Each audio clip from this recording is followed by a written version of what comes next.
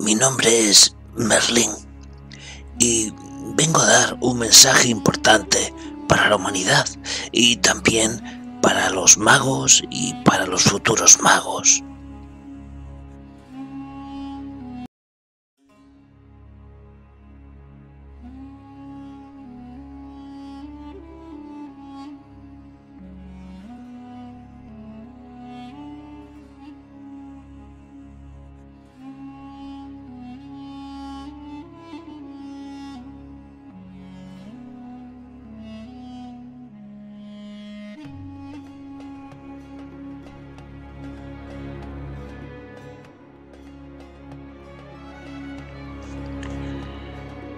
Desde el cielo, desde el lugar de luz donde vivo, en mi castillo dorado, veo todo y siento todo lo que está ocurriendo en la actualidad. Pero tampoco me pilla por sorpresa. Este es el momento ideal para poder hablar de magia, eh, de la magia del amor, de la magia de la unidad, de la magia de la familia, de la magia del perdón.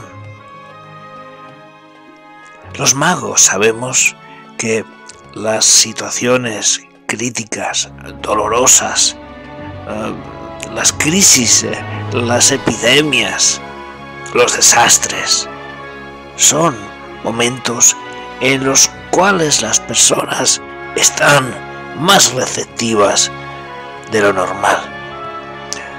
A veces hay que utilizar el fuego, eh, lo que quema, lo que duele para transmutar. Eh, sí, quiero hablar de esa palabra, la transmutación. Y quiero hablar de ella porque este momento que está viviendo la humanidad es el momento de la transmutación. Transmutar, dejar atrás rencores, eh, dejar atrás viejas actitudes, empezar de nuevo. Este es el momento y los magos lo sabemos. Es el momento de empezar una nueva vida, unos nuevos pensamientos, una nueva forma de ver a tu prójimo, una forma de comenzar una nueva vida, un nuevo futuro, una nueva década. Este mensaje es de esperanza, es un mensaje de fe, es un mensaje para aquellos que estáis con miedo, con pánico. No temáis, los magos, que somos siervos de Dios, de yo soy el que soy, nos vamos a abandonar.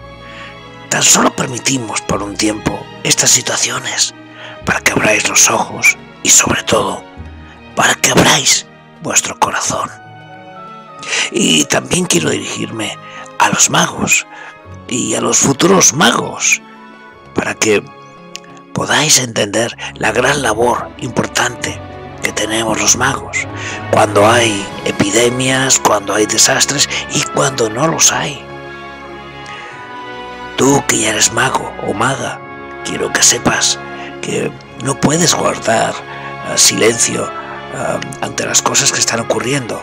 Y tú, como mago y maga, que tienes los secretos y el poder para sanar y para dar luz, no te quedes quieto, porque entonces no eres mago, solo eres un adorno. Y vosotros, futuros magos, que queréis hacer prodigios y portentos, empezar ahora, en este momento, a hacer el prodigio del perdón y el amor, dar de vosotros lo mejor y recibiréis lo mejor de lo mejor, el agradecimiento. No vengo a dar un mensaje largo, porque en este momento no se necesitan mensajes largos, sino mensajes cortos pero directos y profundos al corazón eh, mi mensaje se resume en amaros, amaros, amor, amor, unidad. Este es el momento de que la humanidad demuestre de qué lado está, si del amor, la luz o de la oscuridad. Mago, vuestro siervo, desde aquí, desde mi lugar de paz, os agradezco que me hayáis escuchado y os envío mi energía mágica. Abra cadabra.